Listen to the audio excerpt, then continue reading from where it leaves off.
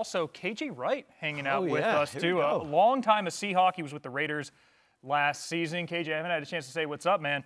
Um, but, you know, Scooby, this is a this is the fourth round of the draft, and that's where KJ was drafted. Yeah, this is where the big money guys come in. As we mentioned at the beginning of the show, the guys that can truly make a difference. And KJ, you made a difference. You're here.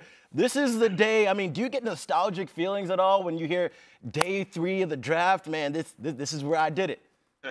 I, I still get flashbacks, and I, I remember I was just absolutely livid that I had to wait three days to hear my name called. And I, I think I speak for most of these guys is that this is pretty frustrating. It's pretty frustrating to have to wait three days, knowing that you're better than a lot of these players getting picked in front of you.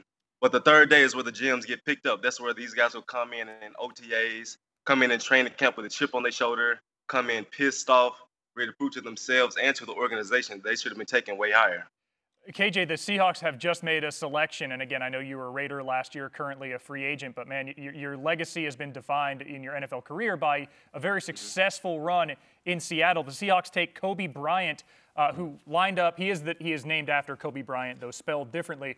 Lined up mm-hmm. opposite Ahmad Gardner in Cincinnati. He was a guy who had a higher draft grade earlier in the process, and now kind of slips out as filmed was scrutinized. What would your advice be to him to not just make a roster in Seattle, but make this a career?